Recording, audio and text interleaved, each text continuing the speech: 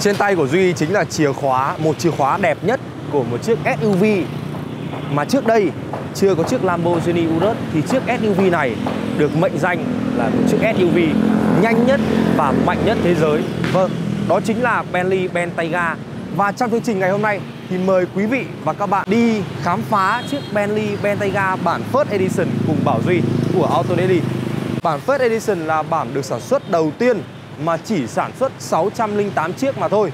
608 là con số thể hiện cái sức mạnh của cái động cơ mang trên mình chiếc Bentley Bentayga này. Phần đầu xe chúng ta có một lưới tản nhiệt đậm chất Bentley. Cụm đèn pha, cụm đèn pha của Bentley Bentayga cũng là một trong những cụm đèn pha rất ấn tượng. Và ở bên trong thì là hai cái bóng cầu thủy tinh được làm cách điệu xếp chồng lên nhau. Đây là tích hợp cả đèn pha và đèn cốt với cái viền led định vị ban ngày ở cả hai bên đây. Và ở giữa của hai cái tầng đèn này là dòng chữ Bentley được làm cực kỳ tinh tế ở giữa. Phải nói là cực kỳ tinh tế ạ. Nếu như chúng ta dùng kính lúp chúng ta soi vào đây, chúng ta sẽ thấy được sự hoàn thiện, tinh xảo như thế nào của dòng chữ Bentley này. Và khi mà chúng ta bật đèn pha thì xung quanh đèn ở đây sẽ là một cái vòng tròn sáng nữa được xuất hiện để tăng cường cái cường độ sáng để cho chúng ta chiếu xa hơn. Và ở bên đây cái nắp này ạ cái nắp này chính là cái hệ thống rửa đèn. Tiết tiết xuống bên dưới ở đây không phải là đèn sương mù Mà lại là hệ thống radar để quét ở phía trước của xe Kèm theo 1 2 3 4 5 6 Vâng. Rất, rất rất nhiều cảm biến mà tôi không đếm được. Ở đây còn có một cái hệ thống ờ, đầu đọc ngoại, Mắt hồng ngoại ở đây. Quý vị và các bạn có thể thấy ngay Bộ vành 5 chấu. Một bộ vành 5 chấu được thiết kế khá đơn giản, Nhưng mà nhìn nó vừa sang trọng, nó vừa tinh tế, mà lại còn thể thao nữa. Bộ vành 22 inch, đi kèm ờ, bộ lốp hàng hiệu ờ, Pirelli. Trời đất ơi, xe với chả cộ đẹp quá đi. Bây giờ thì Urus cũng là một tuyệt phẩm mà chắc chắn là sắp tới về Việt Nam tôi sẽ đem đến một cái bài review rất nhanh đến quý vị và các bạn chúng ta cũng không thể bỏ qua được cái cụm đèn hậu vâng, Cụm đèn hậu được thiết kế dạng chữ B, chữ B, chữ B ngược quay vào bên trong. Cũng là một trong những cụm đèn hậu rất đẹp. Rồi, tôi vừa nhờ được một uh, anh ở trong ờ, showroom. tại bây giờ tôi sẽ tháo cái mic này ra. Quý vị và các bạn cùng lắng nghe nhé. Mặc dù là không Mặc dù là không thật sự phấn khích như là những cái mẫu xe hiệu suất cao, những mẫu xe thể thao nhưng mà rõ ràng là uh, cái tiếng ống xả rất là uy lực phải không ạ? Có lẽ là ai đó trong chúng các bạn mà muốn sở hữu một cái mẫu xe Bentayga có được một cái tiếng ống xả mê hoặc hơn thì chúng ta rất nên đi độ ống xả. Xin phép quý vị và các bạn hôm nay uh, Bảo Duy đóng vai à, một ông chủ một chút nhé. Ông chủ của một chiếc à, SUV nhanh và mạnh. Quá tuyệt. Tất cả những cái chi tiết ở cái hàng ghế thứ hai này đều được hoàn thiện vô cùng vô cùng đẹp luôn. Thưa quý vị và các bạn, chúng ta có thể thấy rèm che nắng ở đây tự động, rồi ngay cả đến chiếc gà tàn. Vâng chiếc gà tàn ở trên cửa. Quý vị và các bạn có thể nhìn thấy. Vâng nó có tinh tế không ạ? Ghế này thì à, cũng được điều chỉnh khá khá nhiều hướng đây ngả ra thế này nhưng mà có một cái vấn đề này mà Duy muốn chia sẻ với quý vị và các bạn đó là đây là một mẫu xe dài tới hơn 5 mét, chính xác là 5141 mm. Với cái chiều dài này thì cái hàng ghế thứ hai của chiếc Bentley Bentayga này không cho chúng ta một cái không gian quá là rộng rãi mà chỉ ở mức vừa đủ mà thôi. Như quý vị các bạn có thể thấy như chỗ Duy đang ngồi đây. Nếu mà đối với cả những cái mẫu xe sedan của Bentley thì thường đằng sau sẽ có một cái, cái không gian rất rộng. Chúng ta có thể ngồi chúng ta gác chân lên hay là chúng ta thao tác nó rất là thoải mái. Nhưng mà với Bentley Bentayga thì chúng ta sẽ không có được cái không gian đó. Bù lại chúng ta có được những cái trang bị khá là tốt như là cái phần bàn làm việc ở đây. Bàn làm việc cũng nhỏ thôi nhưng mà rõ ràng là chúng ta có thể để cái iPad mini ở đây để thao tác để làm việc. Và bên trên chính là cái màn hình vâng. Không khác gì một cái iPad thế hệ mới luôn đây đây đang hiển thị đồng hồ và chúng ta có thể kết nối để vào mạng mặc dù là cái Màn hình này có cái độ hiển thị không thực sự là sắc nét như là những chiếc iPad nhưng mà được làm khá là cầu kỳ. Vâng, đối với một mẫu xe của Bentley thì chắc chắn chúng ta không thể nào bỏ qua được hệ thống âm thanh vòm mang cái thương hiệu là nêm. Cái thương hiệu nêm này đã đi đã gắn liền với Bentley từ rất lâu rồi và nó nó luôn cho những khách hàng trải nghiệm những khách hàng của Bentley một cái thứ âm thanh rất là mê hoặc. Và ở đây chúng ta cũng vẫn có thể à, điều khiển chỉnh các cái chế độ à, điều hòa rồi à,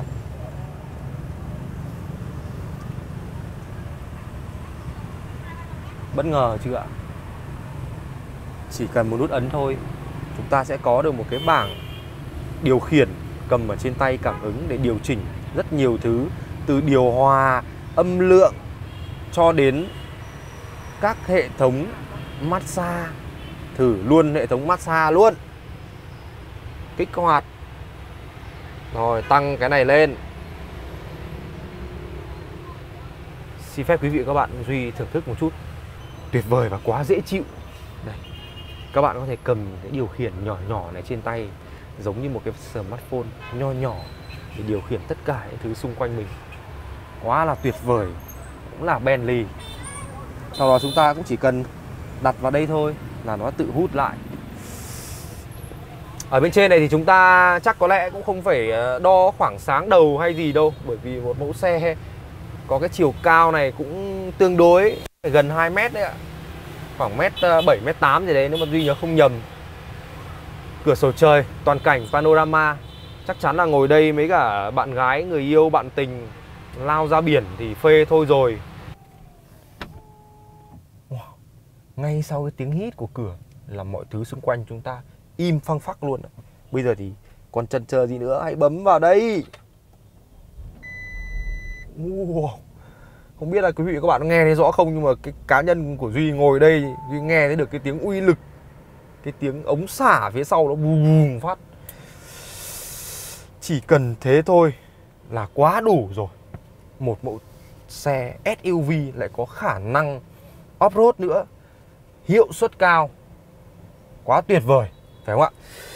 Ngay thì uh, quý vị và các bạn và duy cùng vào cái khoang nội thất cái hàng ghế phía trước này thì trước mắt chúng ta sẽ là cái kiểu thiết kế bố cục hình cánh chim giống như là cái logo của Bentley. Cái điểm mà nhìn thấy được ngay ở chính giữa bảng táp lô trung tâm. Không phải là màn hình hiển thị, không phải là những cái gì đấy nó công nghệ mà lại là một đồng hồ. Đồng hồ ở trên những cái mẫu xe sang đều là những cái đồng hồ mang một cái phong cách thiết kế vô cùng đẹp và đầy tinh tế. Ở đây thì à, chúng ta cũng có hai cửa gió điều hòa với cái chất liệu làm khá là đặc biệt, bằng hợp kim hết. Đây là cái nút chúng ta có thể điều chỉnh cửa gió đóng mở. Cái này là cái đặc trưng của những mẫu xe Bentley đấy ạ. Ở dưới chúng ta cũng sẽ có một cái màn hình ờ, thông tin ờ, giải trí trung tâm ờ, đơn thuần như tất, rất nhiều những mẫu xe khác. Và Bentley thì chúng ta sẽ có cái giao diện hiển thị những cái icon nó đẹp hơn, nó tinh tế hơn thôi. Và phía dưới là cái cụm điều khiển điều hòa hai vùng độc lập, ở đằng sau cũng hai vùng nữa là bốn vùng tiến tiếp xuống cái khu vực phía dưới này mà tôi muốn giới thiệu với quý vị và các bạn. Đầu tiên, có lẽ là cái cần số của Bentley. Một cái kiểu thiết kế cần số từ xưa tới nay vẫn xem xem nhau như vậy và nó đã đi hẳn sâu vào cái trí nhớ, cái kiến thức của tất cả những người mê xe, những người thích Bentley. Khi mà chúng ta chuyển số thì chúng ta sẽ ấn vào cái logo Bentley ở phía trên này như là một cái nút khóa để chúng ta có thể chuyển số chuyển số thì vô cùng mượt mà và nhẹ nhàng. Sau đó khi dừng chúng ta chỉ việc ấn vào nút P để xe về P thôi ạ. Ở phía dưới chúng ta cũng sẽ có phanh tay điện tử nút uh, bật tắt chế độ uh, auto start stop ạ. Uh, đây là nút tắt cái hệ thống cảm biến khi mà chúng ta vận hành xe. Còn đây cái giá trị của mẫu SUV Bentley thì có ngay ở đây đấy ạ. chúng ta có chế độ Sport chế độ này là chế độ riêng đặc biệt của Bentley. Comfort Custom chế độ đi đường cỏ, đường trơn trượt, đường tuyết, chế độ đi đường à, bùn lầy, chế độ à, đi nhanh, ở trên đường à, đường tuyết đấy ạ. Và đây là chế độ đi đường sỏi đá gập ghềnh rồi đường cát. Ở đây chúng ta cũng có những cái khay để để đồ. Đây tôi duy đang để một chiếc kính ở đây. Và đối với những cái mẫu xe sang như thế này thì chúng ta sẽ còn được nhà sản xuất trang bị ngay đến những cái tấm lót ở phía dưới cũng được làm rất là tinh tế và đẹp. Đây, ngay những cái tấm lót như thế này cũng được dập logo, Bentley và đều có số mã ký hiệu hết, thưa quý vị và các bạn. Ở trên những cái mẫu xe bình dân bình thường thì à, có rất nhiều những cái video trên mạng à, mẹo của chúng ta lấy những cái à, cái đĩa đựng bánh gato để đặt vào những cái hộp này để khi mà chúng ta muốn vệ sinh chúng ta chỉ cần nhấc ra đổ đi rất dễ dàng. Và ở trên Bentley thì các bạn không cần phải làm bất kỳ một cái gì cả. Nhà sản xuất đã trang bị hết cho tất cả quý vị và các bạn. Ở đây chúng ta có cái gì?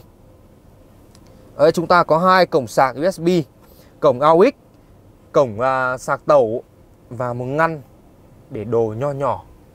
Chỉ một ngăn để đồ nho nhỏ thôi. Rồi có lẽ à, chúng ta sẽ quay lại với cái vị trí cái nơi mà duy luôn muốn cầm nắm sờ vuốt nhiều nhất đối với cả một mẫu xe đó chính là chiếc vô lăng. Cái cảm giác mà chúng ta sờ vào cái vô lăng này chúng ta cầm chúng ta nắm vào. Đây cái kiểu thiết kế tròn tròn và cái kích thước không quá lớn nó nho nhỏ thôi nhưng mà cầm vào thì rất thích tay. Cái chất liệu da cũng vậy. Ở trên vô lăng thì chúng ta cũng có tích hợp những cái núm điều khiển cơ bản thôi. Cruise Control, đàm thoại rảnh tay, rồi sưởi vô lăng, rồi kích hoạt Navigation điều khiển màn hình trung tâm ở chính giữa. Bên đây chúng ta cũng sẽ có những cái uh, tính năng khá là cơ bản như là bật tắt để hệ thống đèn pha này Rồi uh, hỗ trợ đi đường tối, rồi bật đèn cốt ở phía dưới. Vâng. Đèn sương mù Rồi uh, điều khiển cái uh, hệ thống màn hình head display ở trước mặt. Và có một cái điểm nữa mà chúng ta không thể bỏ qua đó chính là cái phần ốp gỗ ở trên xe xung quanh xe được ốp khá nhiều gỗ.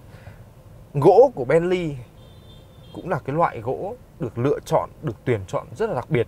Khi mà sở hữu những cái mẫu xe sang, những cái mẫu xe cao cấp như thế này thì cái tấm chân nắng của chúng ta không phải là một, mà nó sẽ thường là hai. Bởi vì khi như các bạn ờ, để ý, các bạn điều khiển xe, các bạn sẽ thấy đôi khi thì chúng ta sẽ phải gạt cái tấm chân nắng này sang bên này để che cái phần ánh nắng ở bên đây làm gây chói mắt.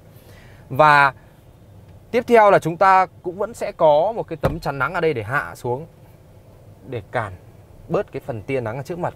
Đặc biệt là cái mẫu xe Bentley Bentayga này cũng rất được ưa chuộng tại cái thị trường Trung Đông, một cái thị trường nắng nóng gay gắt. Mà mấy anh à, Dubai à, dị dị ấy lại còn hay đem xe ra chạy đường đồi cát nữa thì quá chất luôn. Đây, quý vị các bạn có thể thấy ngay bây giờ. Đây ạ. Đấy, các bạn có thể thấy, đấy, chân này, chân của cậu ở đây đây này. Đấy cảm biến hồng ngoại đấy các bạn ạ quá hay đây là cái hệ thống hỗ trợ ờ, để chúng ta di chuyển vào à, ban đêm, rất là hữu ích tôi đang à, trên mông một chiếc ghế à, có thể điều khiển đến 22 hướng và massage với nhiều chế độ. Ngoài ra thì chiếc ghế này được thiết kế khá dày và ở phần lưng ghế còn được thêu tay, thủ công cái logo First Edition.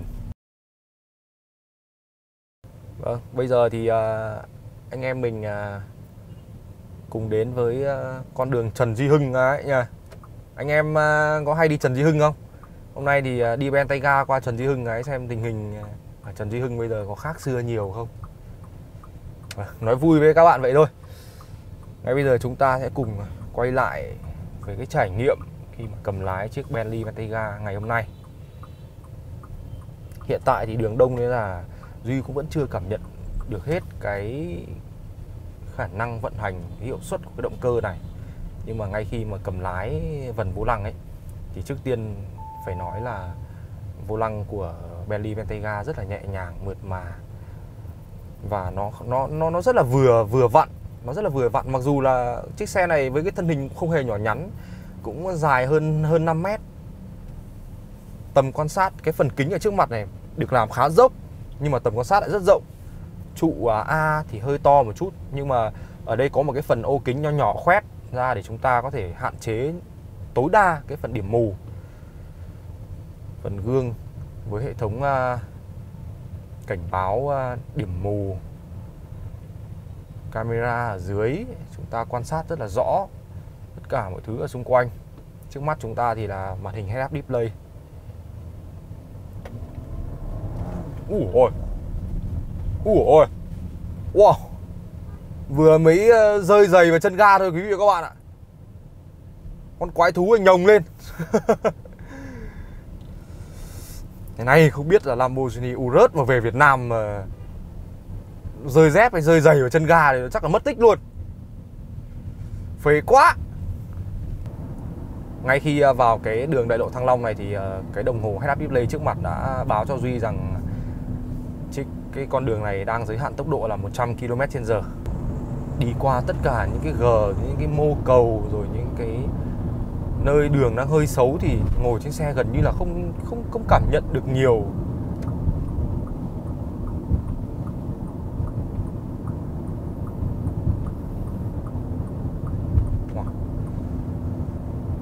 Trên đường cao tốc mà có một ờ, bác đang đạp xe đạp ờ, phía làn bên trong này.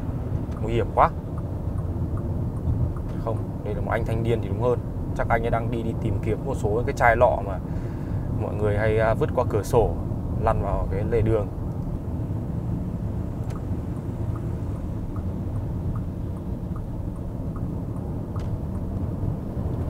Ủa. dính lưng vào ghế luôn. Còn à, bây giờ thì thời lượng của chương trình cũng đã dài rồi. Thật sự là cái video này Duy muốn chia sẻ rất nhiều với quý vị và các bạn. Nhưng mà sau đây là những cái lời tóm tắt Mà Duy muốn nó chia sẻ lại với quý vị và các bạn là đây là một chiếc SUV thực sự nó mang trong mình một cái sức mạnh rất là khó lường.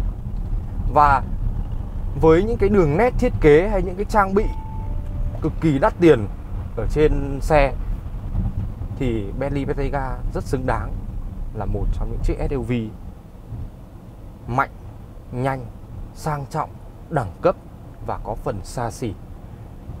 Xin chào và hẹn gặp lại quý vị và các bạn trong những video tiếp theo. Và quý vị và các bạn cũng đừng quên subscribe kênh youtube của Auto Daily để cập nhật những thông tin mới nhất về xe tại thị trường Việt Nam. Quý vị và các bạn cũng đừng quên để lại những comment, những chia sẻ của mình nếu như quý vị và các bạn là những người đã từng và đang chuẩn bị sở hữu một mẫu xe như Bentley Bentayga. Xin chào và hẹn gặp lại.